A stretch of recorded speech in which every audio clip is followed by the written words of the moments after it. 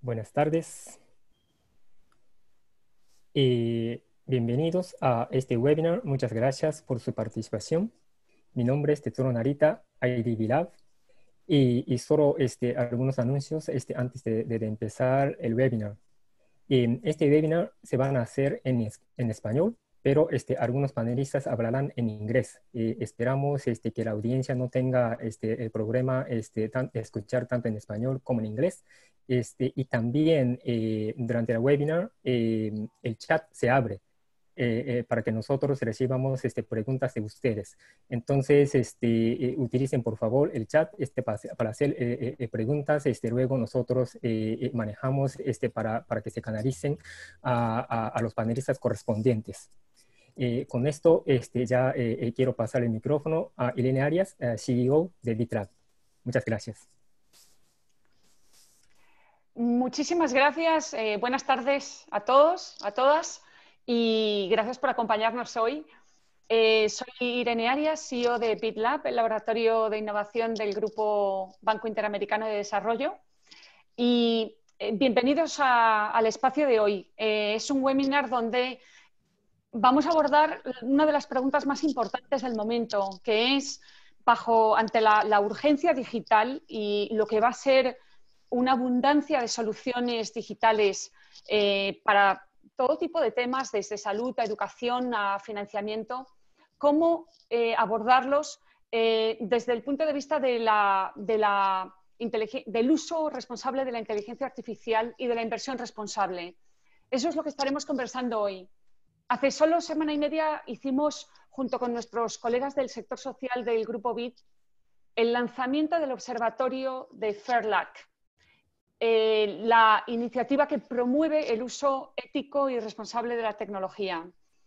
Desde BitLab eh, colideramos esa iniciativa para traer la lente de los emprendedores que están al frente de las, de las soluciones digitales del futuro. Y Vamos a escuchar hoy de un grupo espectacular de emprendedores y de inversionistas y, aceleradoras. Voy a presentar primero quiénes son los inversores y las aceleradoras que nos acompañan hoy. Eh, Laura González Estefani, fundadora y CEO de, Venture City, con, sede en Miami, aunque nos va a hablar hoy desde, España. Eh, Michael Amborn, director ejecutivo de Urban Tech de Rainmaking en Dinamarca. Silvia Chevi, eh, directora ejecutiva y cofundadora de Tales Lab en Uruguay, socia de, de BitLab de hace muchos años, eh, y Flavio Pripas, inversor en Redpoint Ventures, eh, un fondo en Brasil en el que BitLab ha, invertido. Y del lado de los emprendedores nos acompaña Iván Caballero, CEO y fundador de CityBits en España y con quien con el lado de la vicepresidencia de países del Grupo BID, hemos lanzado Civiclytics, una herramienta de la que seguramente Iván os hablará más. Javier Cardona, CEO y fundador de UNDOC3, y eh, Cecilia Tam, eh, fundadora de All Women. Y eh, bueno, vamos a pasar ahora a definir un poco más este reto, ¿no? Este reto que nos trae hoy a estar juntos y es que en los últimos 10 años el mercado de la inteligencia artificial ha crecido de una forma muy importante, pero se ha concentrado principalmente en China, en Estados Unidos y en Europa. ¿Cuál es la oportunidad ante esta realidad? Bueno, pues que existe, como vais a ver en la siguiente, una variedad de proyecciones del crecimiento del mercado de inteligencia artificial pero según el McKinsey Global Institute, las proyecciones más conservadoras estiman que el mercado de la inteligencia artificial para el 2025 tendrá un valor de 126.000 millones de dólares. Hacia finales de 2018, Endeavor encontró que el valor aproximado de ese mercado en América Latina y Caribe era cercano a 1.6 eh, mil millones de dólares. O sea, una fracción de lo que es el mercado mundial, pero exponencialmente más grande de lo que era hace unos años. Y después de los meses que hemos vivido y lo que seguimos viviendo en América Latina y Caribe con la creciente pandemia, la necesidad y las posibilidades que tenemos que aprovechar de esta tecnología se vuelven todavía mayores. De lo que ya conocemos, el 87% de estas soluciones estaban enfocadas en apoyo a terceras, a terceras empresas y el 30% a chatbox. Pero, como digo, ahora se abren más, muchas más posibilidades. Y eso nos trae también a lo que nosotros como laboratorio de innovación de una multilateral del Grupo BID eh, hacemos, cuál es nuestro mandato aquí y lo que nos trae hoy a esta discusión. Mm, buscamos soluciones nuevas a problemas que en muchos casos son problemas viejos que afectan sobre todo a las personas vulnerables y cómo la combinación de innovación y tecnología nos puede ayudar a superarlos y a crear una región que al final sea una región mucho más inclusiva y próspera para todos.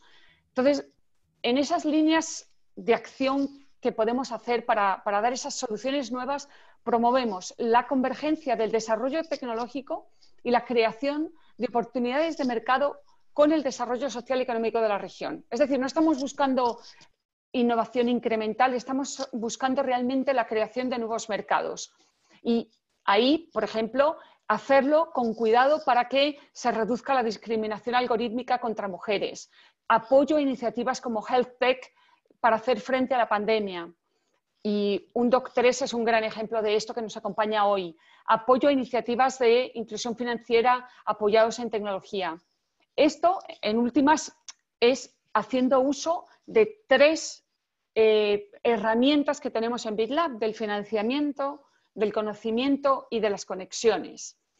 El financiamiento con instrumentos flexibles desde, desde, desde eh, pura experimentación hasta inversión ya de capital en etapas tempranas de equity, pero sobre todo con un apetito de riesgo eh, en esas etapas tempranas y con una fuerza movilizadora.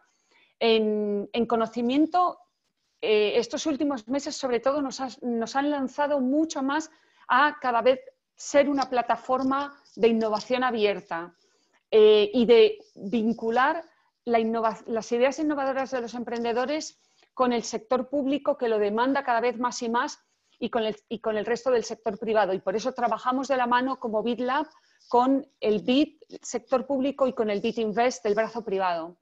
Y finalmente las conexiones, ¿no? con presencia en los 26 países, nos, nos, ayuda a poder articular y ser una, un articulador de plataformas, una plataforma de plataformas para, para la región. Y, y, por eso tenemos, nos acompañan aquí Mm, varios de estos, de estos socios que son parte de esta, de esta red. ¿no? Y bueno, ya entrando finalmente en FAIR y FAIRLAC para el ecosistema emprendedor. ¿no? FAIRLAC, como dije, lanzamos con, con, el sector social el observatorio, que por supuesto busca a ser una guía para influir política pública. Nosotros lo que traemos, mm, buscando esas sinergias con, con el, dentro del grupo BID, es construir sobre los pilares de conocimiento y conexiones para fortalecer el ecosistema emprendedor de inteligencia artificial en la región, siguiendo los principios de la OECD para una inteligencia artificial fiable y la construcción de confianza y el fomento de la sostenibilidad y la inclusión. Así que es centrado en el emprendedor, mm, pero incluyendo activamente a todos los actores del ecosistema, inversionistas, aceleradores, incubadoras, academia.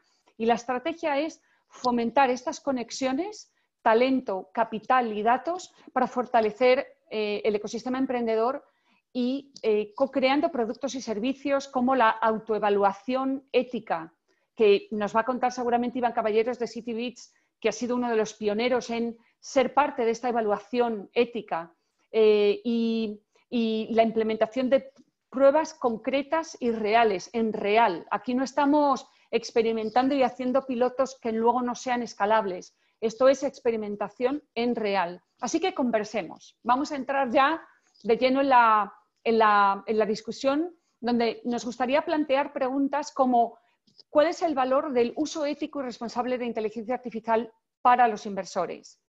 Segundo, ¿cuáles son los principios y criterios de inversión para seleccionar proyectos y cuáles son las recomendaciones para los emprendedores? Así que a continuación le voy a pasar la palabra a Laura Laura González Estefani de The Venture City para que nos comparta sus reflexiones y vamos a hacer aquí un tándem porque we want to walk the talk, es decir, esto de conectar también lo queremos hacer desde este propio webinar, entonces estamos combinando las reflexiones de un acelerador o inversionista, inversor, con las de un emprendedor. Así que en este caso, eh, Laura va a comenzar con nuestro colega César Buenadicha y en las siguientes Michael lo va a hacer con el emprendedor Iván Caballero, Silvia con el emprendedor Javier Cardona y vamos a cerrar con Flavio de Redpoint Ventures que va a compartir con la emprendedora Cecilia Tam.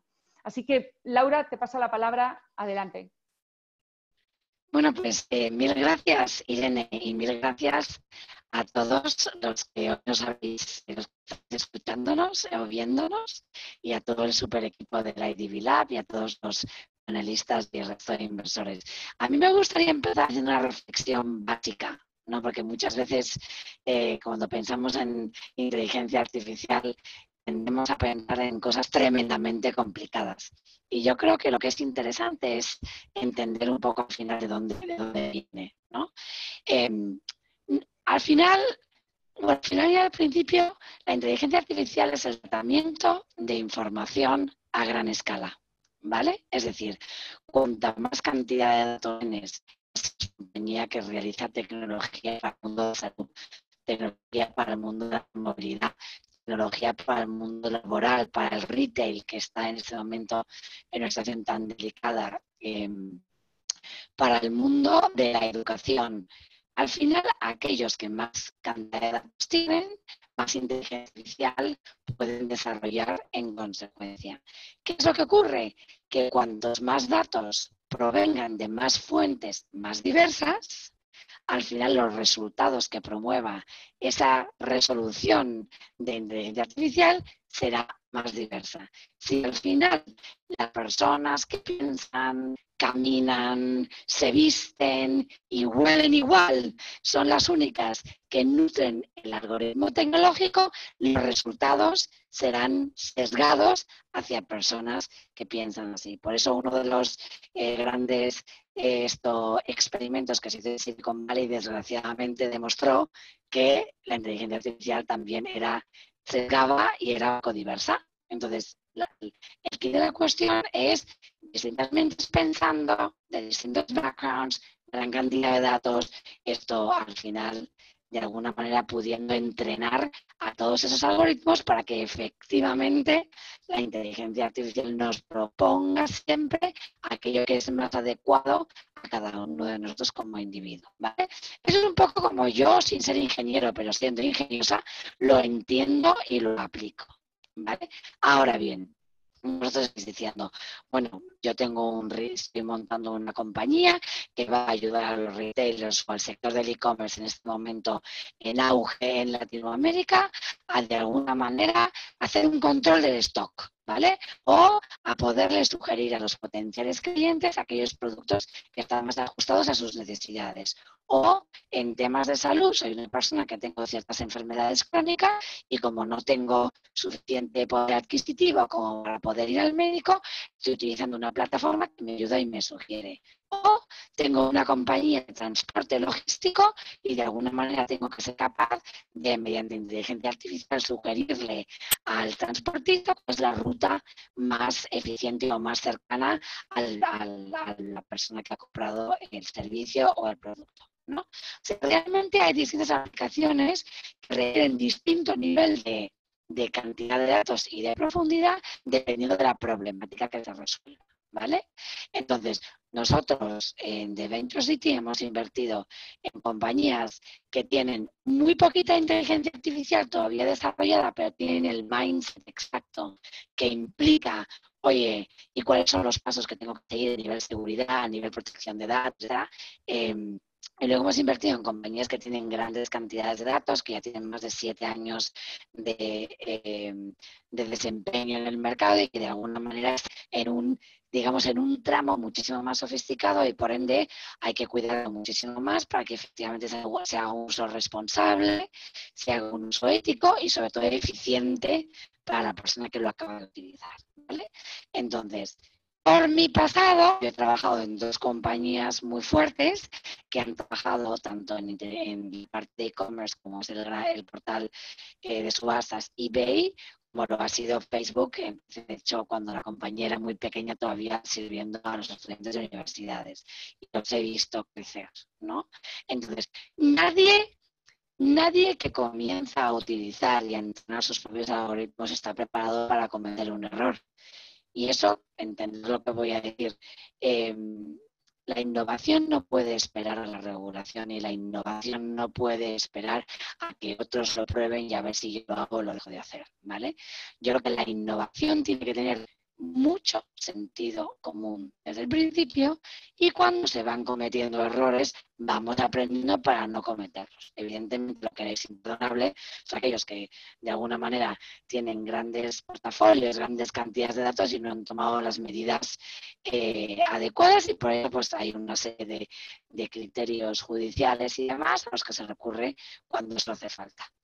Pero lo, lo importante es que no se nos olvide a todos los emprendedores que nos estáis escuchando que hay un cierto nivel de seguridad, de ética y de uso responsable según el tamaño de la compañía que estáis tomando, que estáis montando. Y si empezáis a crecer muy rápido, muy rápido, muy rápido, cuanto antes os dotéis de los equipos de seguridad de la información, de seguridad y que implementéis las políticas de privacidad de data y tengáis al personal in-house que se encargue de toda esta información, mejor. Porque desgraciadamente una de las cosas que todos hemos visto durante esta pandemia ha sido que cuanto más conectados, más vulnerables somos.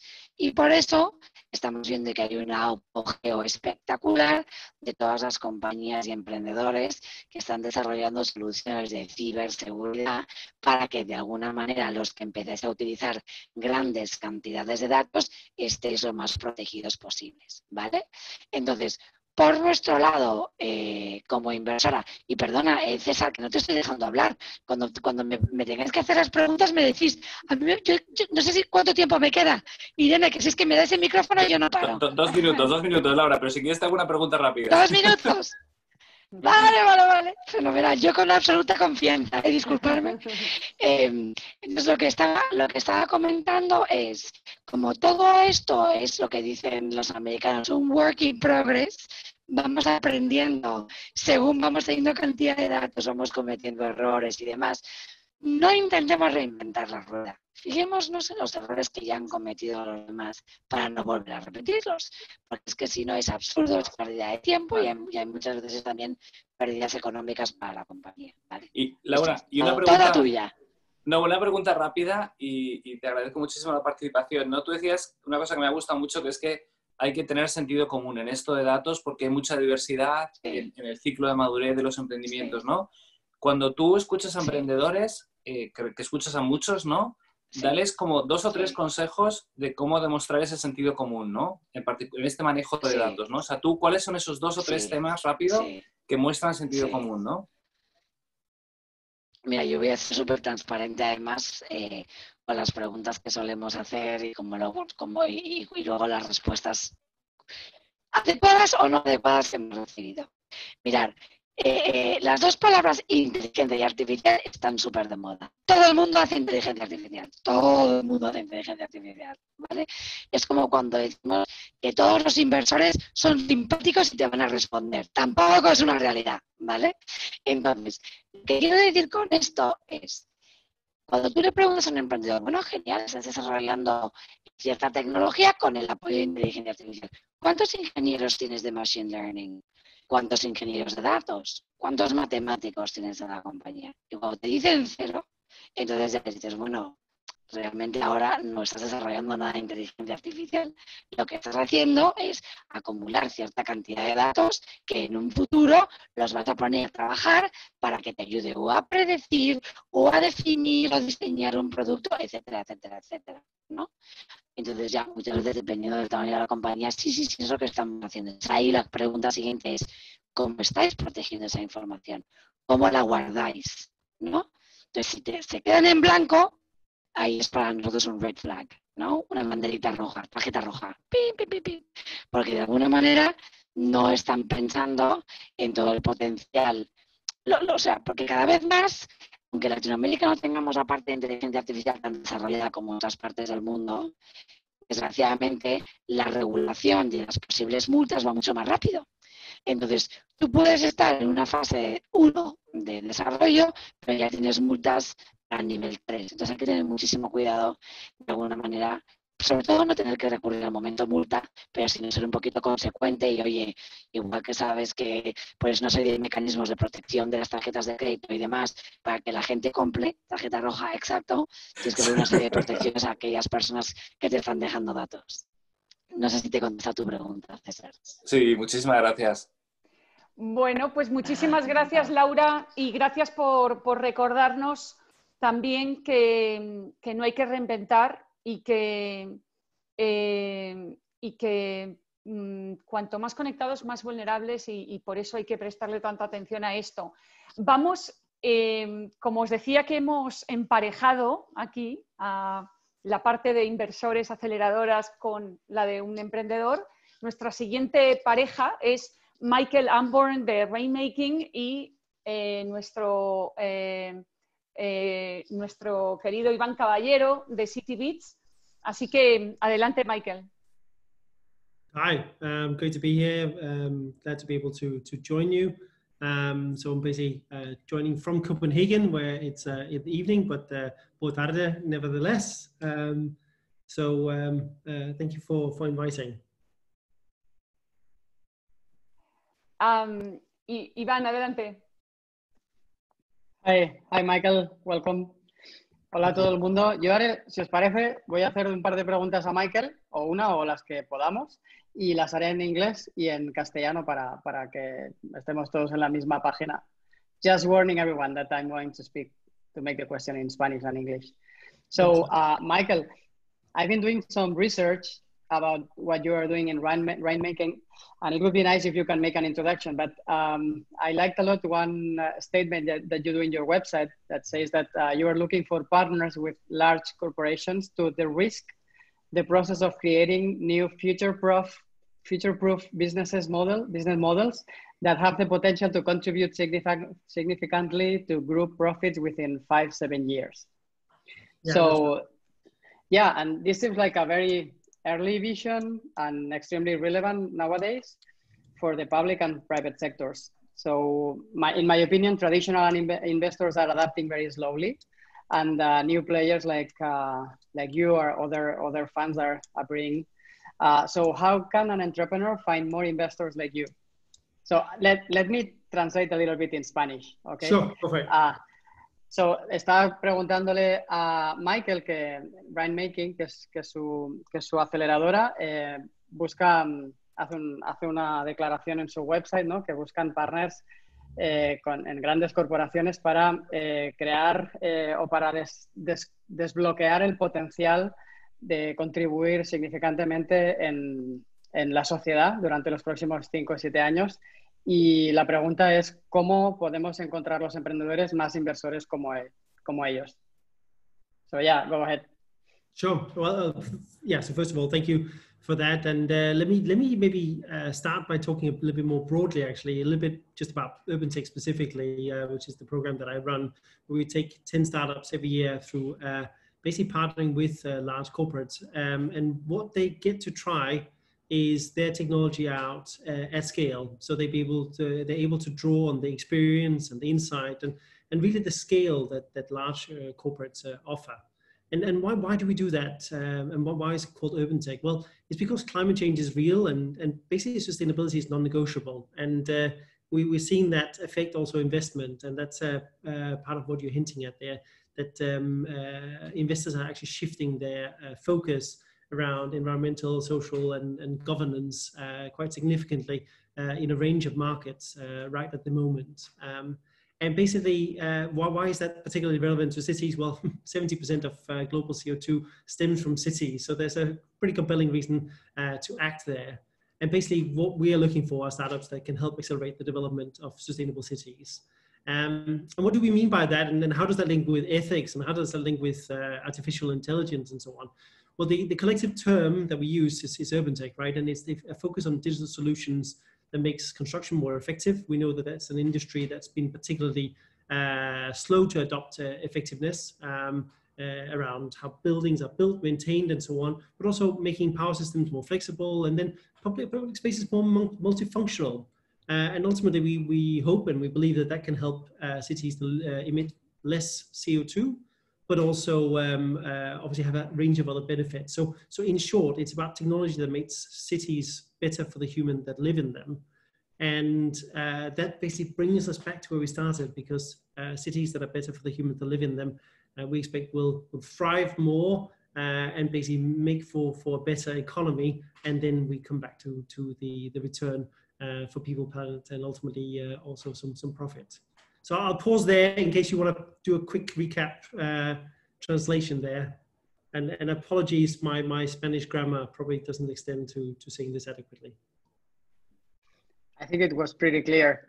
So, and I don't know if I'm allowed to do the translation, so I will go to the next question if it's okay for everyone. Uh, sí, perfecto, Ivan. okay. So, yeah, in that's amazing what you are doing and uh, you are accumulating like a huge experience that it can be like it can have a lot of value for any entrepreneur worldwide. So what are like your main takeaways? So or can you give advice to the entrepreneurs that wants to make um, a change in the society who, who wants to impact significantly? Yeah absolutely. So so i guess first of all uh, i should actually answer, answer your first question there uh, which was uh, how can you find uh, basically people like us? Um, and I think that links into the next question, uh, which is basically how can you change the world, uh, which I think is why we are, we are all here.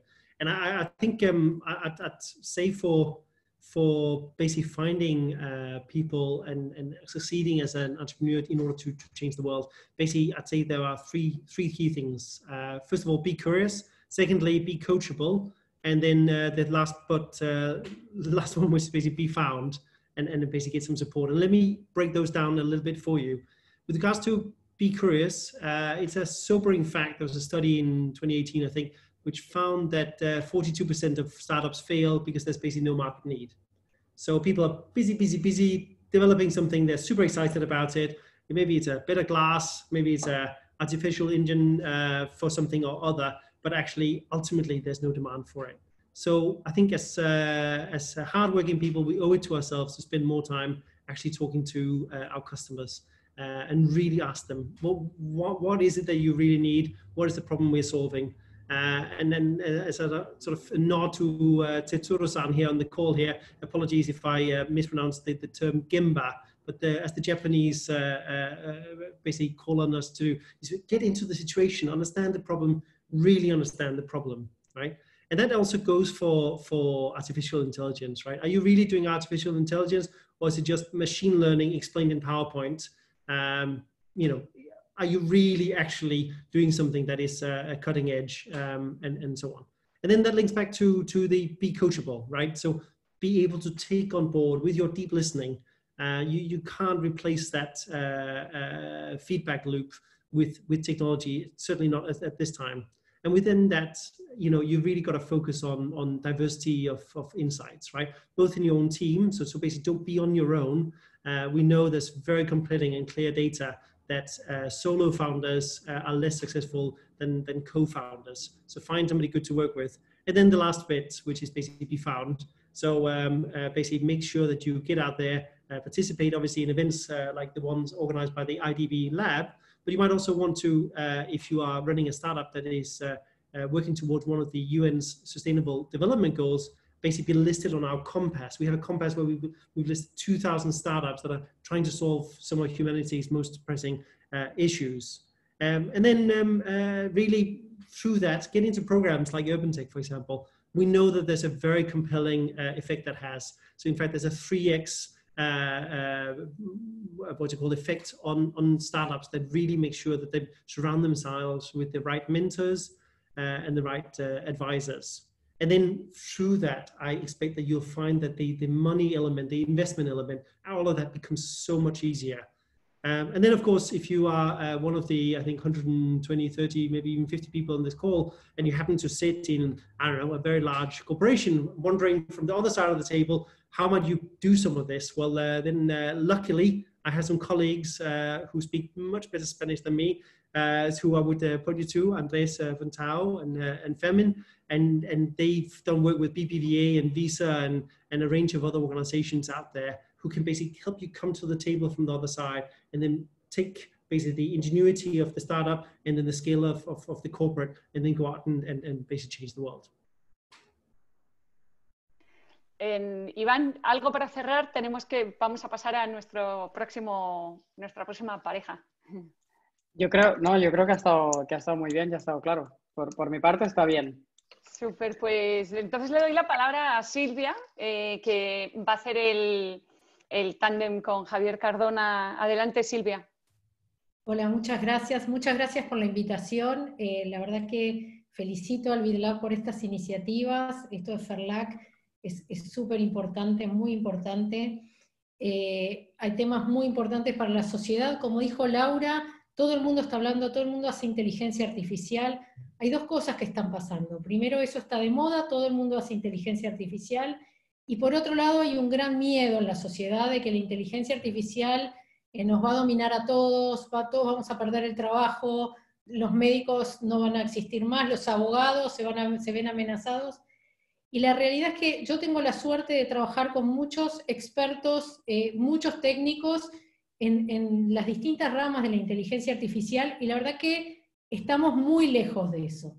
Y el otro día hablando con César, yo, le decía, parte de nuestra tarea en Tales Lab es, eh, como hablamos con tantos emprendedores y vemos tanto de las tecnologías, es un poco educar de alguna manera o transmitir esto que vemos una y otra vez y una de las cosas que, queremos eh, transmitir es que no estamos tan eh, cerca de que la inteligencia artificial actúe como el cerebro humano, ni siquiera como el cerebro de una mosca. Estamos lejos todavía. Entonces, eh, esta es una de las cosas que quería decir. por otra parte, bueno, hay muchas amenazas, igual, en, tanto en temas de seguridad, los sesgos, la confiabilidad, y quiero contarles dos ejemplos de emprendimientos bien concretos que nosotros apoyamos. ¿Y, qué es lo que buscamos con las cosas que apoyamos? Lo que buscamos es eh, que, que, los, las startups usando inteligencia artificial hagan una de dos cosas. El trabajo que no es humano que hagan los humanos, por un lado, y por otro lado, el trabajo que los humanos, que, el trabajo que, que la tecnología hace mejor que los humanos. ¿A qué me refiero con la primera cosa? Por ejemplo, tenemos un equipo que está desarrollando un vehículo autónomo, pero no es un auto ni como el Tesla o el auto de Google, no es un auto para las ciudades, sino que es una carretilla de un metro por un metro que soporta 100 kilos para la industria o el agro. Primer cliente, porque es muy importante, como decía Michael, eh, trabajar con la demanda, ¿no? no hacer cosas maravillosas que después nadie quiere. Primer cliente es un vivero hidropónico que tiene galpones de un kilómetro de largo. Entonces, lo que tiene es personas que lo único que hacen es agarrar una carretilla, cargarla de cajones de lechugas y la transporta un kilómetro de ida, descarga y un kilómetro de vuelta. Eso no tiene por qué hacerlo una persona, ¿no? no aporta ningún valor más que la fuerza. Entonces, esta carretilla que nosotros estamos desarrollando con nuestros emprendedores, lo que hace es ese transporte en forma autónoma, pero además eh, pesa, mide automáticamente, sabe, tiene una trazabilidad de todas las lechugas, etc. Entonces, esas personas que hoy se dedican a eso pueden dedicarse a cortar las lechugas, seleccionar algo que es mucho más humanamente atractivo que estar haciendo un trabajo que solo fuerza. Otro ejemplo, y esto eh, muestra el valor que describió Irene en cuanto a lo que se busca es combinar lo privado con los gobiernos eh, y, la colaboración de todos los ecosistemas. Y acá quiero contar el caso, eh, ya que estamos con el tema coronavirus también, el caso de la aplicación Coronavirus UI, que se desarrolló en Uruguay con una semana, a una semana de que aparecieron los primeros casos de COVID en Uruguay, la aplicación, ya había una aplicación eh, para Android y iOS que la bajó un tercio de la población que daba información y que hacía un seguimiento con telemedicina, bueno, en sus distintas etapas, de, todo el proceso que lo que buscaba es que no colapsen los centros de atención a la población y los centros de salud. Entonces, esto fue un esfuerzo coordinado de AGESIC, que es la Agencia de Gobierno Electrónico de Uruguay, que también forma parte de FERLAC, y las empresas privadas, este, en un esfuerzo increíble de colaboración, pero que fue posible hacerlo en una semana, ¿por qué? Por la inteligencia artificial, porque se hizo con una herramienta de software que automatizó todo lo automatizable. Entonces, lo que vimos es que en otros países donde también se hicieron aplicaciones, hay muchos que todavía, en, Latinoamérica, en, la región, eh, que hay muchos que todavía no, no, salieron al mercado, porque la inteligencia artificial en este caso hizo algo útil, hizo lo automatizable, pero solo con eso no hubiera alcanzado, porque si no hubiera habido la combinación de las personas, del gobierno, de los privados, de las empresas, para hacer esto posible, eso no hubiera, no hubiera sido posible. Es decir, que inteligencia, eh, inteligencia artificial responsable es también hacer con el para qué. Nosotros cuando vienen emprendedores nos importa mucho el para qué. No es la tecnología por la tecnología. Eh, como también decía Michael, es muy tentador sentarse, programar y, jugar con la tecnología, pero tiene que haber un para qué y un propósito. Entonces, por eso eh, me parece que Ferlac está en el, camino eh, correcto y, es muy útil que a todos los actores del ecosistema nos ayuden en ver en cuál es la tecnología correcta para qué, siempre con un propósito, tratando de lograr el impacto que queremos en la sociedad. Y bueno, con esto doy paso, no sé, Javier. Sí. Eh, bueno, muy buenas tardes a todos. Eh, gracias por, por, la invitación. Silvia, yo te quería hacer dos preguntas y para hacerte la primera, cuento un poco de nuestra historia. Nosotros hace cinco años que queríamos permitirle a cualquier persona consultar con un médico eh, instantáneamente, pues en ese momento no pensábamos en inteligencia artificial, pero luego al pasar el tiempo y cuando ya teníamos miles, luego decenas de miles y luego cientos de miles de usuarios, pues se nos presentaron problemas, ¿no? Problemas como necesitamos eh, hacer más eficiente el uso del tiempo médico para que resuelva lo que de verdad eh, deberían resolver y no las tareas repetitivas, como tal vez lo mencionaste con tu ejemplo de la carretilla. Y otro problema que veíamos muy fuerte era que eh, había una dificultad muy grande por parte de nuestros usuarios o pacientes a veces en identificar sus síntomas. Y eso hacía difícil la eh, resolutividad de la consulta de manera virtual. Entonces ahí fue cuando un doctor decide eh, pues empezar a explorar inteligencia artificial. Ya contábamos con millones de consultas y bueno, hoy en día eso funciona fenomenal. Pero poniendo esto como ejemplo, eh, me gustaría preguntarte cómo, cómo identificar en ese early stage, cuando vienen dos o tres o cuatro ideas eh, con un problema, solución y te lo plantean, ¿cómo identificas eh, ese con el que vas a trabajar? Ese con el que vas a, ese que vas a apoyar, teniendo en cuenta que en ese momento en very early stage, eh, pues todo es, todo es bonito, todo es sueños, todo es teoría. Excelente pregunta. Y acá también voy, voy lo primero que vemos nosotros es los emprendedores, ¿ok? Primero, eh, ¿saben del problema que vienen a, a resolver? Es decir, si viene un ingeniero agrónomo que no le importa la moda ni le gusta nada la moda, pero quiere hacer algo de inteligencia artificial aplicado a la moda, decimos, no es adecuado porque no conoces la industria, eh, vení con una idea de la industria en la que conoces, o sea, hay que identificar un problema y quererlo resolver. Segunda, o sea, el que, que, el emprendedor conozca del problema, ¿ok? Segunda cuestión, que también lo decía Michael, que sea coacheable tiene que ser coacheable, porque si no, si está tan enamorado de su producto, de su idea, que no escucha nada, no va a tener la flexibilidad y la agilidad necesaria para un emprendedor. Pero mm, bueno, con eso, eh, y, lo otro es que tampoco esté tan enamorado de la tecnología, y acá cuento otro caso. Tenemos un emprendedor, Galeno Cis, un emprendimiento, que es un electrocardiograma que manda la información al teléfono y del teléfono a la nube para que el cardiólogo desde cualquier lugar pueda ver el electrocardiograma. Pero la idea es detectar determinadas arritmias, entonces muchas veces lo, tiene, lo puede tener puesto el paciente durante un mes. Entonces, obviamente el cardiólogo no va a estar mirando todo. Entonces ahí surgió la disyuntiva. Bueno, usamos una herramienta de inteligencia artificial porque hay muchos datos cardiológicos, por más que este emprendimiento tan early stage no tenía datos propios, hay bibliotecas de eh, de datos que se pueden utilizar, o usamos una herramienta, un algoritmo matemático que analice digitalmente la onda y encuentre dónde tiene que eh, mandar una alerta de decirle al cardiólogo, mira acá.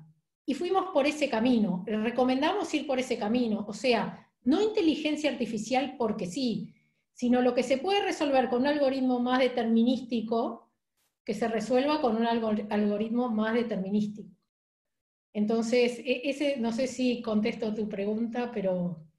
Sí, fenomenal. Y, otra muy cortita, y otra muy cortita es ya en ese early stage, eh, ¿qué, recomendaciones les das para terminar de confirmar los equipos? Porque en early stage, pues el, el, equipo viene, viene bastante eh, básico, por decirlo de alguna manera, una o dos personas eh, trabajando. Bueno, para nosotros es fundamental eh, como te digo, en Taleslab apoyamos emprendimientos tecnológicos.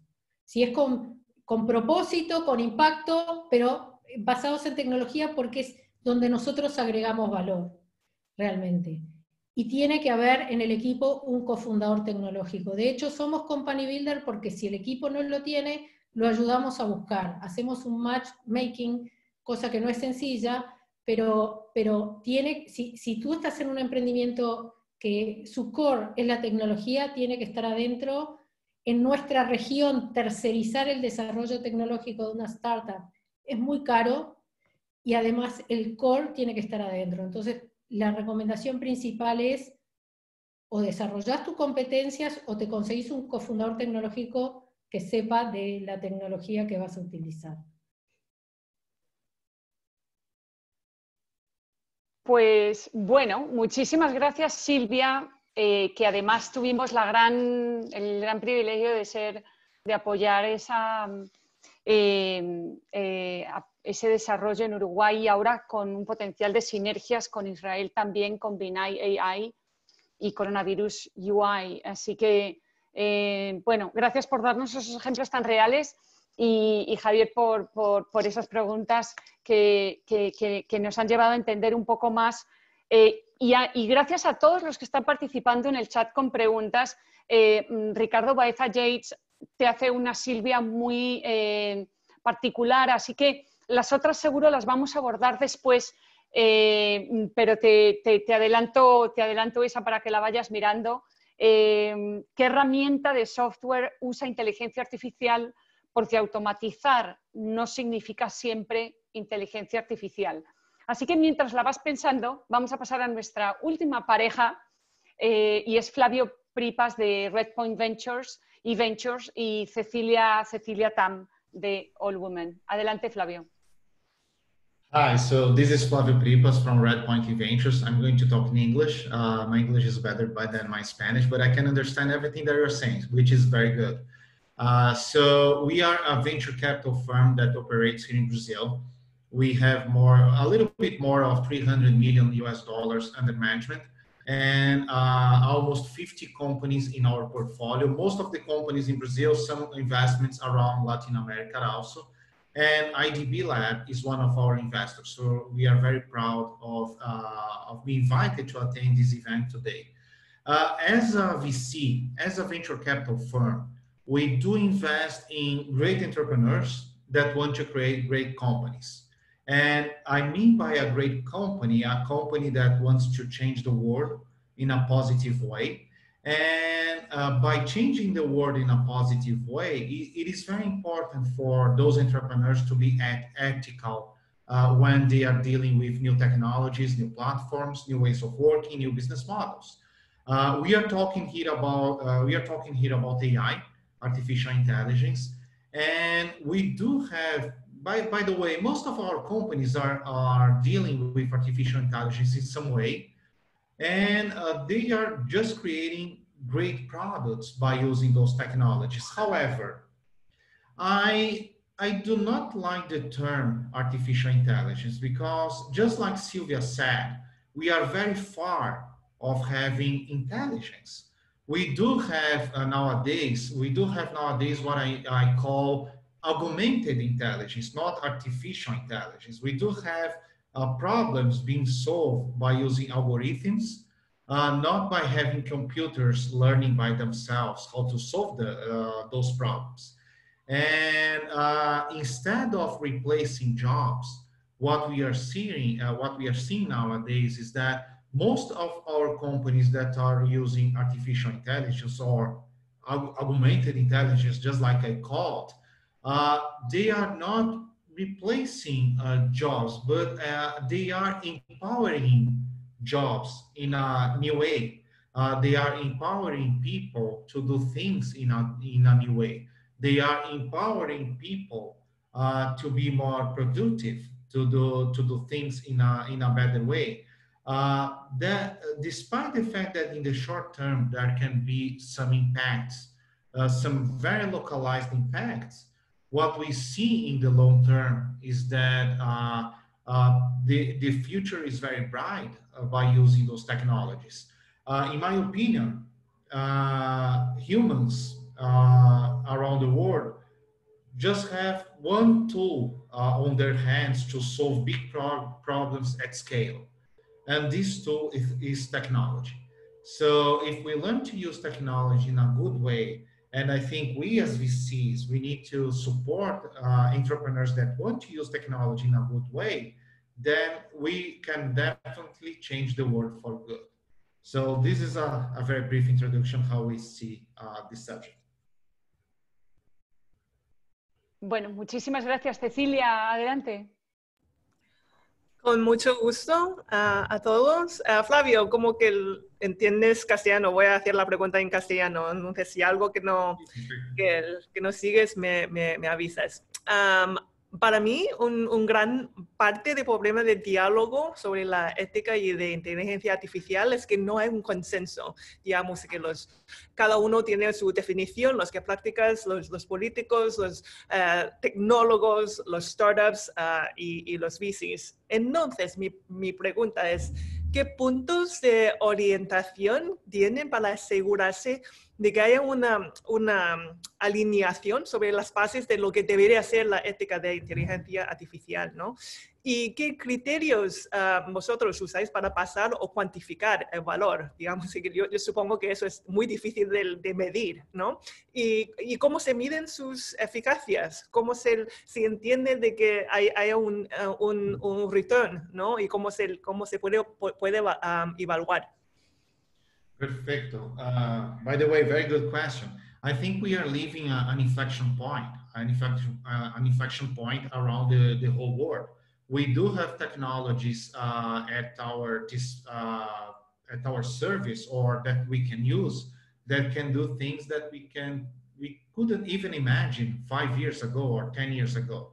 So it's definitely an inflection point. And by inflection point, I mean that we are all learning how to deal with that, how to deal with everything that is happening. And uh, I think it's more, uh, it, it, we do not have all the answers. Uh, and I, I do think that no one have, uh, has all the answers.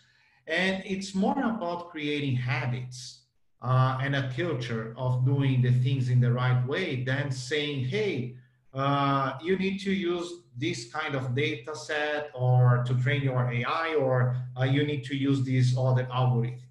Uh, it's, it's a matter of creating good habits.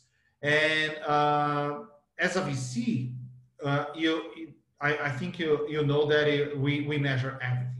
So we measure returns, we measure uh, value creation, we measure uh, jobs that are being created, we measure returns for our investors. So if we create those habits that can drive the company uh, in, a, in a good way, then we do think that the, the metrics that we are following will, uh, will be in a good shape. Uh, but it, it is still, uh, we, are, we are still at the, let's say, uh, definition phase of uh, how to deal with, with everything what we what we we share with our entrepreneurs from the companies of our portfolio is that if they are dealing with uh, let's say some sort of machine learning algorithm or something uh, something that requires some kind of moral decision uh, then we do require them to talk with a very diverse kind of uh, data, data set or diverse people. Uh, and we, uh, we are fostering uh, diversity around our portfolio because we do think that as more that we can get from diverse people, better we will have the algorithms that can solve their problems. So this is the way that we are dealing with everything nowadays. Súper interesante. Tengo la segunda pregunta que es bastante más hacia, es especial a, a ti porque eh, estaba haciendo un poco de, de investigación sobre, sobre eh, tu trabajo y he visto que el, el, he visto que en tu social media has publicado una cosa bastante curiosa que no, no, he, no he nunca, que les, esta cosa se llama effectuation. Y tengo mucha curiosidad de entender qué es effectuation y cómo, cómo se aplica en ese entorno, del, en este contexto de inteligencia artificial que estamos hablando. For me, uh, effectuation is just like the, the mindset of the entrepreneur. Uh, when you're dealing with innovation, uh, you cannot plan for success because you don't know what success is. You don't know what is going to happen. If you're planning for success, you're not innovating. You are doing something that you know. So you're doing some kind of incremental change, but not innovation. Uh, when you are really innovating, uh, you need to plan for failure so you need to think just the opposite way. Uh, so uh, you need to test things. You need to try things. Uh, if those things they work, you can augment what we what you are doing. If those those things don't work, uh, you can just leave that behind and do another thing. And this is real uh, even for AI uh, AI based projects uh, you can, for example, let's say you can raise a question that you need to answer. Uh, you can check that there is an algorithm or there is some, some methodology using AI that can maybe help you solve that question. And you can just start trying and testing and succeeding and failing, everything almost at the same time. And this is the only way of innovating. Uh, and uh, I would I will put uh, another thing on top of that. Uh, by, by iterating and by creating knowledge on those uh, iterations, you can learn a lot. And as I said before, we are living in an inflection point for the society. I think we, uh, we are obligated to, to learn a lot. What are the impact of what we are doing in the world and using uh, everything that we are learning for the good. This is the, at the end, what we are looking when we, we talk with entrepreneurs. Bueno, eh, muchísimas gracias, eh, Flavio. Eh, ahí, y de nuevo, mm, muchas gracias por todas las preguntas que estáis poniendo, que estáis poniendo aquí. casi, bueno, si quieres, Silvia, comenzar por, por, vamos ahora a pasar a, tratar de abordar algunas de ellas y otras, las que tienen sobre todo que ver con más información o algunas referencias, etcétera, os vamos a pasar la información por, el chat y también para que sepáis cómo contactarnos. Em, eh, pero os voy a lanzar un poquito a todos, em, emprendedores, inversionistas, aceleradoras, varias de las preguntas y si quieres, Silvia, comenzamos por la, por la que te adelanté antes. Perfecto, gracias Irene. Ricardo es quien pregunta, ¿no? Eh, Ricardo, gracias por la pregunta. Eh, la herramienta que se utilizó es para programar es Genexus. Genexus es un software que hace software que empezó hace muchos años siendo un sistema experto y usa inteligencia artificial en su, eh, en su origen, o sea, es un código que desarrolla código. Entonces, esto lo que permite es automatizar un montón de tareas y además poder usar herramientas de inteligencia artificial de terceros como chatbots, eh, herramientas de IBM, de Google, de Amazon, de lo que sea, en forma muy rápida y muy eficiente. Entonces, no es que se usó una de esas herramientas tipo Watson o lo que sea para desarrollar la aplicación, pero sí Genexus que en su interior usa herramientas de inteligencia artificial. No sé si esto responde la pregunta.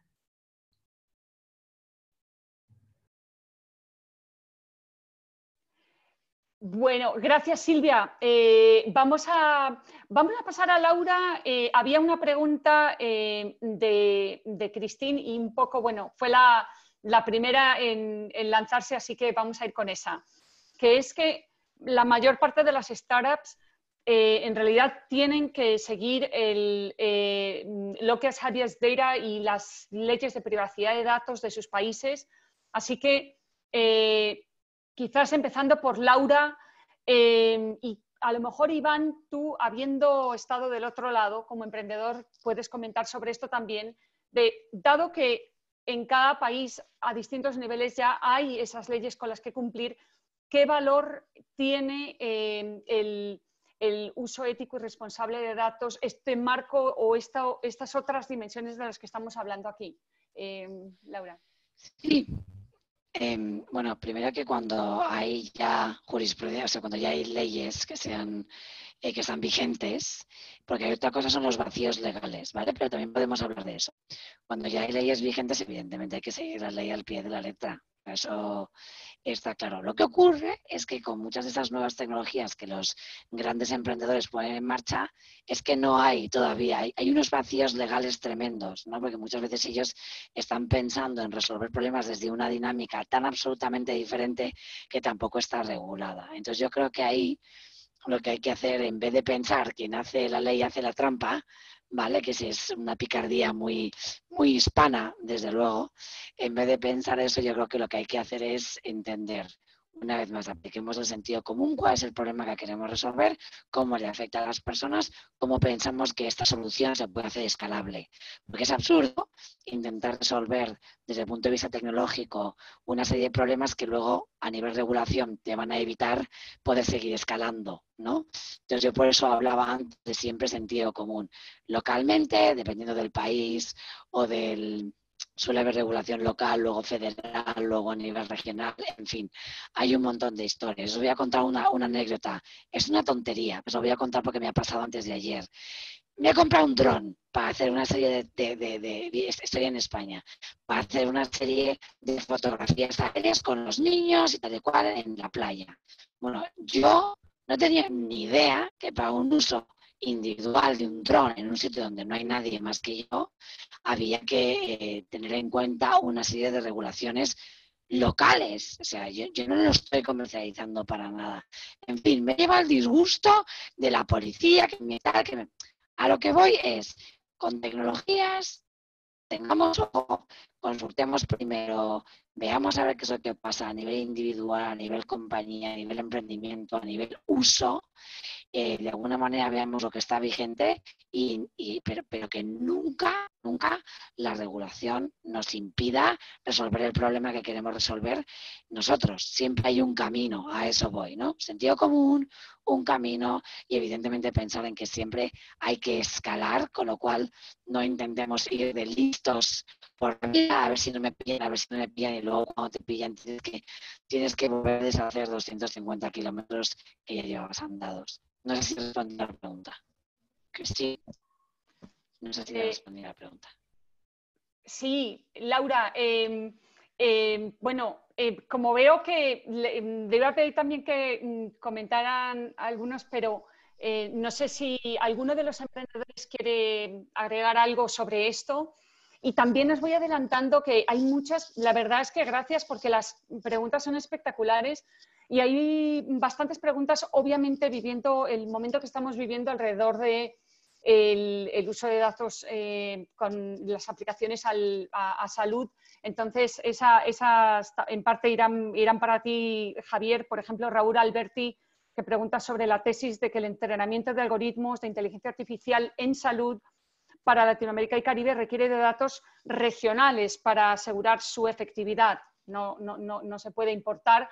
Y, entonces eh, eh, quería también, no sé si siéntete en libertad también, Javier, de comentar sobre esto último y abordar, si quieres, esta, esta nueva pregunta. Bueno, claro, no. Hay, dos cosas que me, me gustaría mencionar. Primero, eh, para responder concretamente la pregunta, la realidad es que sí, o sea, y, y, que, y eso llega casi a nivel región, o sea, no es lo mismo en un país como Colombia, eh, las condiciones y las patologías y la epidemiología de la costa norte, 30, 35 grados centígrados de temperatura, enfermedades, mosquitos, etcétera, que es lo que se da en una ciudad como Bogotá eh, a 2.600 metros sobre el nivel del mar y un promedio de temperatura de 15 grados centígrados. Solo dando estos dos extremos que vivo en mi propio país, eh, pues la epidemiología es completamente diferente. Entonces, para ser precisos y para no tener sesgos eh, o para evitarlos, porque siempre van a haber, o sea, esto es una realidad, siempre van a existir, dependiendo de cómo se haya originado la data. En salud es indispensable eh, pues tener todo tan localizado como sea posible, ¿no? Entonces, un set de datos de una sierra no sirve para 200 eh, kilómetros que ya esté a nivel del mar, ¿no? Entonces, eso es bien importante, teniendo en cuenta que en América Latina también y en salud es muy importante hablar de, de las enfermedades, por ejemplo, tropicales, ¿no? O sea, de pronto de, de Argentina o, Uruguay a lo que vemos en, Colombia en términos de dengue, por ejemplo, ahora hablamos mucho de coronavirus, pero en Colombia estamos en una situación grave de dengue y pues un dataset de, de, de un país que no es tropical no funcionaría. Entonces, concretamente, eh, la respuesta es sí, es indispensable y no va a ser, no va a haber accuracy si, si, si, si eso no se tiene, ¿no? Y segundo, sobre, sobre un poco el, el origen y el tratamiento de los datos, yo agregaría, em, digamos que las regulaciones, podría decir que no están muy claras o son escasas. Lo que sí es muy claro es la, las regulaciones en cuanto a orígenes de datos, tratamiento de datos, custodia de datos, y eso es indispensable tenerlo en cuenta y cumplirlo eh, tanto como sea posible. En nuestro caso, en la parte médica, en América Latina, no hay regulación HIPAA o vigente, no hay HIPAA compliance, pero en el caso nuestro, pues vamos a esos niveles en términos de seguridad. Eh, así que primero asegurar muy bien que el origen de los datos tenemos autorización para tratarlos y usarlos, incluso para este tratamiento y entrenamiento de algoritmos y pues intentar dar un pasito más allá porque la regulación evidentemente está un poco o bastante, bastante atrasada. Bueno, eh, Javier. a mí me gustaría. Sí, adelante. A mí me gustaría añadir una cosa, y perdón por la, interrupción, pero cuando decimos de sentido común, el sentido común también tiene que ir del lado de los reguladores. Es decir, toda la industria necesitamos sentido común. A mí se me abre con perdón, cuando, como bien estaba diciendo eh, este Javier hace un momento, si hay un problema de salud o hay un problema crítico en un país determinado o una enfermedad determinada, cáncer de mama, y resulta que hay 850 millones de datasets en Estados Unidos que te van a ayudar a predetectar un, tumor, señores del país J eh, o Z, eh, es absurdo no poder utilizar la data para reconocimiento de tumores que ya tienen otros países generados para detectar los tumores locales. Cáncer de mama es cáncer de mama en todas partes, ¿no? O sea que creo que también este foro es maravilloso para que entre todos hagamos entender a la gente que está en las instituciones, que desgraciadamente no son innovadores como nosotros, para que no frenen la innovación con medidas o con regulaciones que van en contra del bienestar de las personas en estos países. Bueno, Laura, gracias por ese, ese call to action, ¿no? Y me das pie, aunque no lo habíamos planificado, pero para hablar de lo concreto realmente que sigue como parte de la construcción de FAIR, de la iniciativa de FAIRLAB, que es precisamente de aprovechar las sinergias y la neutralidad que tiene una multilateral como el Grupo BID para inspirarnos e informarnos de la data que viene de las experiencias reales del mundo emprendedor, de todo lo que estamos escuchando aquí y trabajar de la mano del sector público para poder tener una visión más de futuro con respecto a la política pública sobre este tema. Así que así es como estamos encontrando estas sinergias y lo que sí esperamos es que del lado de BitLab y nuestro vínculo con todos vosotros y, con, el ecosistema de innovación sea el resultado de esto, sea unas herramientas prácticas útiles, fit for purpose, como dirían en inglés, para cada etapa del, del emprendedor, para que pueda realmente eh, eh, incorporar las mejores prácticas que a veces, a la pregunta de Cristín, a veces pueden ir más allá de lo que se requiere localmente porque el emprendedor quiere efectivamente estar, eh, estar en, a, un, digamos, a un nivel eh, mm, eh, de las mejores prácticas a nivel global. Y eso me lleva a una mm, pregunta de Francesca Gavetti de TeamEQ. Hola Francesca, de cómo podrían los inversores de una forma sencilla y práctica empezar a valorar la eticidad de la inteligencia artificial dentro de sus KPIs de valoración típicos de inversión. ¿Con qué métricas la valorarían?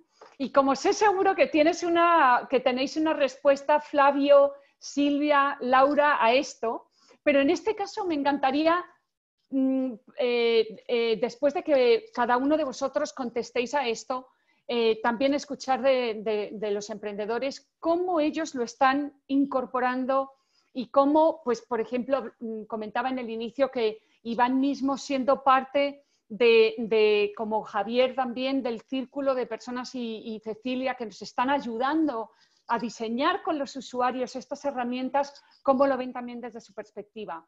Pero bueno, vamos a escuchar primero del lado eh, inversor.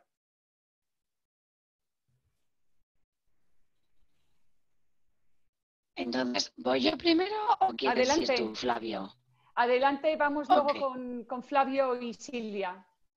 Okay, so. Okay, uh, nosotros, nosotros. Okay, sorry. Bebe Flavio, go go. Okay, so uh, we are we are still learning how to raise KPIs to follow this. Uh, we have just to give a practical example, we have uh, one company uh, that is dealing with uh, facial recognition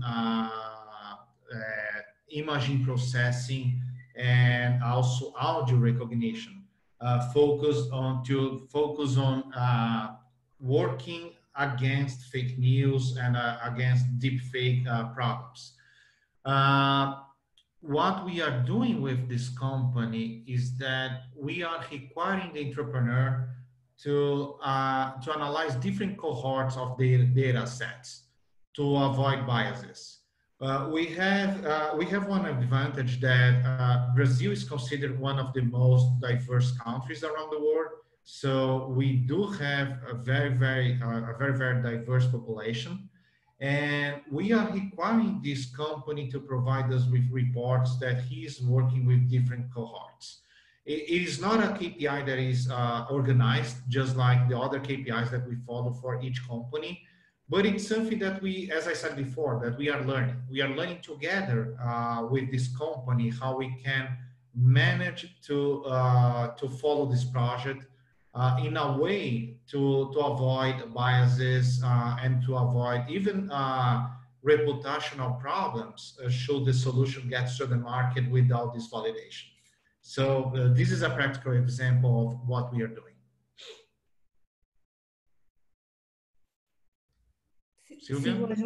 sí. Eh, bueno, nosotros también, eh, como dice Flavio, estamos aprendiendo. Eh, con cada proyecto que viene nos, nos plantea desafíos diferentes y son los que vamos tratando de, de digamos, de resolver. Hay muchos proyectos que no están usando inteligencia artificial, por ejemplo, pero que sí usan sensores de todo tipo o por ejemplo para agro, distintas cosas, y lo, que nosotros siempre le decimos es guardar los datos. Guardar los datos porque todavía no sabemos para qué, pero se van a utilizar. Entonces, por un lado, ¿cómo se guardan los datos? Eh, esto me hace pensar también, volviendo a la aplicación Coronavirus UI, que, bueno, como les digo, usó, eh, usa la API de Apple y Google eh, para, para alertas de proximidad de casos positivos, y eso creó mucho miedo en la población, pensando, me están persiguiendo, a pesar de que no usa el GPS, no usa la ubicación del celular. Entonces, ¿cómo, cómo se demuestra a la población de que eso se está usando de forma segura y que es, para la salud de todos, que cuanto más gente lo usa es como una vacuna, cuanto más gente lo use, mejor es. Y, la forma que, que encontraron los emprendedores es hacer público el código, para que cualquiera lo pueda auditar. Entonces, eh, esa es una manera que eh, no todos los quieren hacer porque muchas veces es el secret sauce del emprendedor, es ese código, pero hacer público un código eh, es una de las maneras que, hay de, auditar. Ahora, como un tener KPIs o incluir esto, todavía no, yo no sé si hay alguien que lo esté haciendo en forma muy sistemática porque estamos todos aprendiendo a la par de los emprendedores. Súper interesante. Eh, Michael, would you like to add anything? Sure, I, I, guess I would just build out the kind of list I gave earlier a little bit to emphasize a key point, which is to be credible. Um, so when, when you use AI, first of all, are you really using AI? I hinted at that earlier. Is it just machine learning kind of dressed up in a PowerPoint? Um, and really within that, basically try and avoid black boxes, right? The black boxes is a term uh, popularized by a range of authors. Um, there's a great book called Weapons of Math Destruction by Cathy O'Neill, for example, where you can read more about that. But basically, a black box is when, when you basically say, well, I can't really tell you how this is all working, but it's working. And I think you'll find over time that both companies investing, companies that you're partnering with, and ultimately regulators will want to, to look into the black box and basically have you lay out what is really happening here. Uh, because the risk uh, is significant if something goes wrong. Basically, a bad, uh, even in machine learning, a badly trained machine learning set can make uh, real mistakes, whether it's controlling the air conditioning in a building, which might be relatively low risk, all the way through to some of the scenarios that Flavio perhaps hinted at and, and maybe others as well. Um, so that really is, is the key thing, I would say, first and foremost. Are, are we willing and able to be transparent? And, and also, are we willing to, to move fast but not break things, uh, which of course is a slight uh, uh, critical take on at least one company in the world that definitely moved fast, but uh, is possibly also breaking quite a few things in the process. Well, uh, moving fast without breaking things. Um, uh, eh, y eso me recuerda a un seminario reciente que tuvimos y que eh, a todos los participantes hoy les compartiremos las conclusiones de aquel que era sobre privacidad de datos en el contexto de COVID, obviamente muy relacionado con algunos de, estos puntos y, de donde entre, entre, algunas, entre varias cosas, pues hablábamos de, de que se ha instalado en la ciudadanía un paradigma de desconfianza por defecto, una frase de Alejandro Padín que tiene un poquito que ver con algunas de las cosas que se han destruido en el camino por ir demasiado rápido. Y es justo por eso que estamos aquí, justo por eso que vamos a construir ese marco, esas herramientas prácticas en ese entrepreneurial journey para que los emprendedores que tienen esa abundancia de ideas y están embarcados en dar esas nuevas soluciones, lo hagan, pero dentro de un marco donde se puedan eh, se puedan evitar esas consecuencias indeseadas. Y creo que tenemos aquí ejemplos magníficos, así que le quiero dar la, palabra a ellos ahora eh, para un poco ver cómo desde vuestro lado eh, habéis abordado estas exigencias o esta manera de cómo medís y demostráis el, que, el que estáis adoptando estos estándares y quizás también eh, de paso, una pregunta de Sergio Fernando que dice, en el modelo de, inversión para startups que recopilan datos, ¿los inversores son codueños de la data? En caso de que la startup se desintegre, ¿el inversor se lleva parte o la totalidad de los datos? Así que si os parece, podéis abordar eh, la anterior y esta y os paso, os paso la palabra. Bueno, yo como, como inversora que tengo desarrollado una plataforma de datos, y de hecho Javier Cardona, que es uno de nuestros súper emprendedores, nosotros no somos los dueños de ninguna información nunca. Eh, la plataforma que nosotros hemos desarrollado precisamente ni ahora ni nunca. El, ser inversor no te hace dueño de, ninguno de los elementos en concreto de lo que es la, plataforma. ¿no? Lo que sí que es importante es nosotros como, como inversores, qué valor les aportamos a los emprendedores cuando tenemos acceso a la data. Ese es el kit de la cuestión para mí como inversor. Les puedo ayudar a predecir un iceberg, les puedo ayudar a predecir un tip basado en la experiencia que nosotros tenemos como emprendedores también. Entonces, pero evidentemente nosotros no somos dueños de absolutamente nada, ni ellos están obligados a dárnosla. Si nos la quieren dar, que nosotros les podemos ayudar y les portamos, valor, perfecto, pero no, no somos los dueños de nada. Gracias, Laura. Eh, muy contundente. Eh, Javier, ¿quieres eh, comentar? Sí, bueno, no, sobre la pregunta de, la data, realmente toda la propiedad intelectual de las compañías le pertenece a las compañías, ¿no? Entonces, no a sus shareholders individuales, ¿no? Entonces, eso es importante, tenerlo, tenerlo muy claro. y pues como lo mencionaba Laura, ¿no? Y sobre, y sobre el tema de la auditoría, y cómo se mide esto, es difícil porque es early, es early saber en qué punto estás, ¿no? Nuestro caso, para nosotros lo primordial es que los usuarios de la tecnología, sean usuarios o pacientes o sean médicos de un lado, nos puedan dar muy buen feedback de lo que está proveyendo la plataforma. Del lado de los médicos, si sí estamos ayudándoles a predecir y, a, predecir un posible diagnóstico, nosotros lo llamamos prediagnóstico, y en dónde estamos fallando. Los modelos tienen muchos, muchos problemas y muchas oportunidades de mejora por diferentes razones. Eh, biases que, que, que, son difíciles de identificar al principio. Y luego del lado de los usuarios, sí, definitivamente asistirlos de una u otra manera usando tecnología, si obtuvieron un mejor resultado. Entonces, hablar concretamente de auditoría y cómo se mueve, cómo se mide en este momento para nosotros es difícil, eh, pero eh, sí es importante en este primer tramo del journey en el que estamos, porque sabemos que esto va a ir para muy, muy largo, eh, saber que estamos ayudando a resolver el problema para las, pues en este caso a los usuarios y a los médicos, que es donde está la aplicabilidad, porque eso es importante, ¿no? La aplicabilidad de, de, todo lo que hagamos en, en, este tipo de inteligencia artificial o, o lo que sea, es, es como lo más importante. Bueno, muchísimas gracias. Me encantaría, me encantaría que también Cecilia y, que, Iván nos deis vuestra perspectiva sobre esto y de una nueva pregunta de, Constanza Gómez Montt. Gracias, Constanza.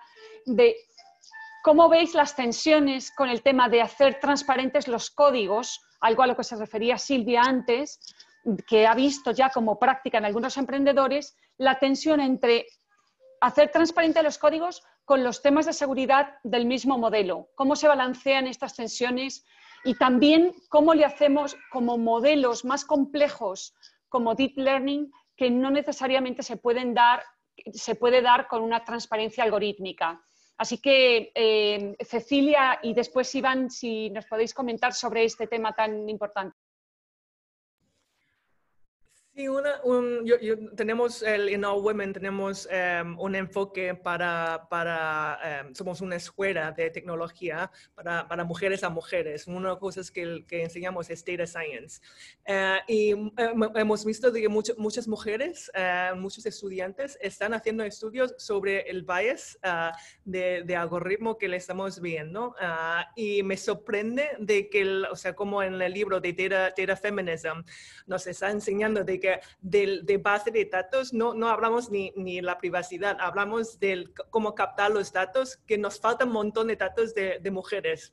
Y si faltan datos de mujeres, no podemos ofrecer un, tener un balance del, del el producto que se ha hecho para hombres y, tanto para mujeres, ¿no? Y el algoritmo lo mismo.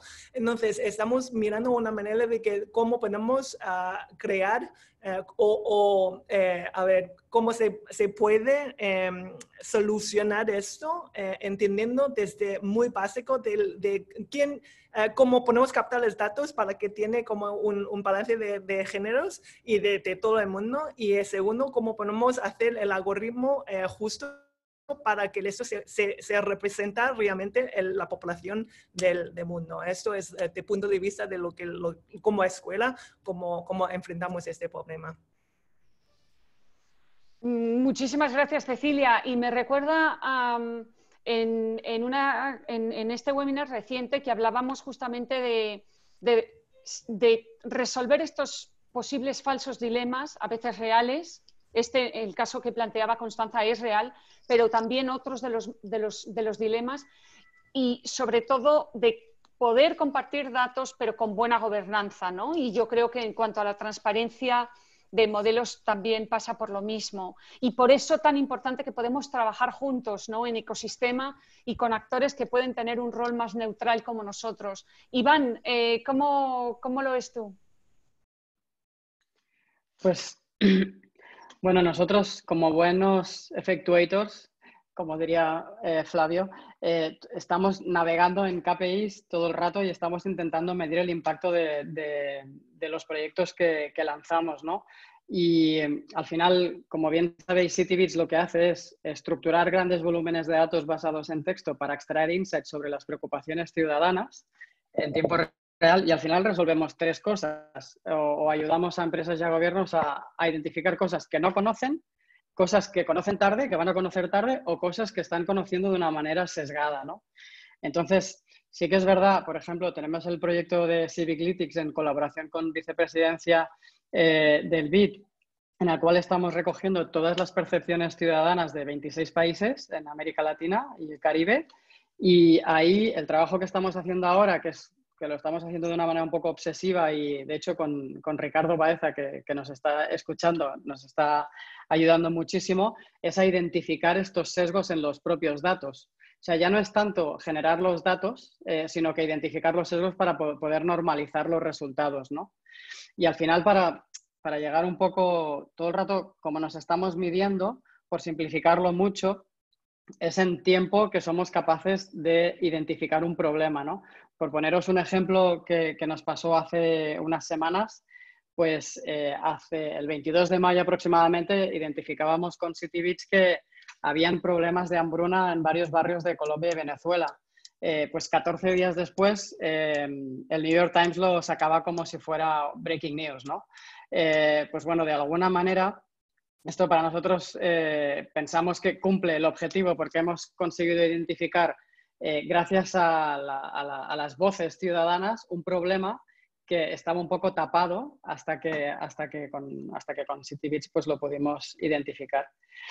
Eh, y, el otro, y el otro es los, millones de dólares que informamos, o sea, cómo se canaliza el dinero de organismos multilaterales, de inversores, de gobiernos cómo, o de empresas, cómo se canaliza hacia eh, esas, esas, preocupaciones ciudadanas. En el momento que nosotros identificamos un problema y, ese, y la respuesta se engancha a un flujo de dinero, pues ahí también identificamos que es un impacto que estamos teniendo. Entonces, eso sería una, por un lado tiempo y por otro lado eh, dinero informado. Tiempo y dinero informado. Creo que es una buena, un buen cierre y un buen hint eh, para, para el tipo de inversionista que también que, buscas. Así que, eh, bueno, creo que es un buen segue también para nuestro cierre. Con, le, quisiera, pues le quisiera pedir a, Laura, a Michael, a Silvia y a Flavio si desde el lado inversionista o de aceleración nos podéis dar en 30 segundos el takeaway más importante de lo que hemos hablado hoy.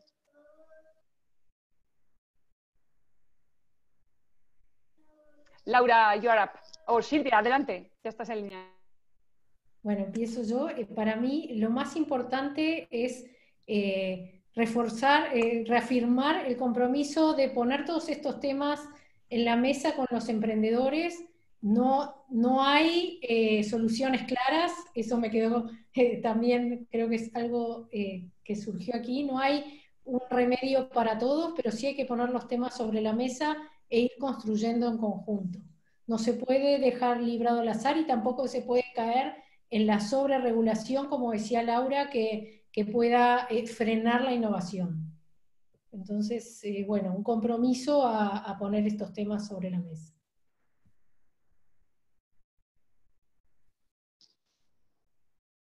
Muchísimas gracias. Flavio, you want to go next? Yes, sure. Uh, I think the uh, the message is that we, I, I, I mentioned this a lot during this uh, this panel that we are in a, in we are leaving an inflection point.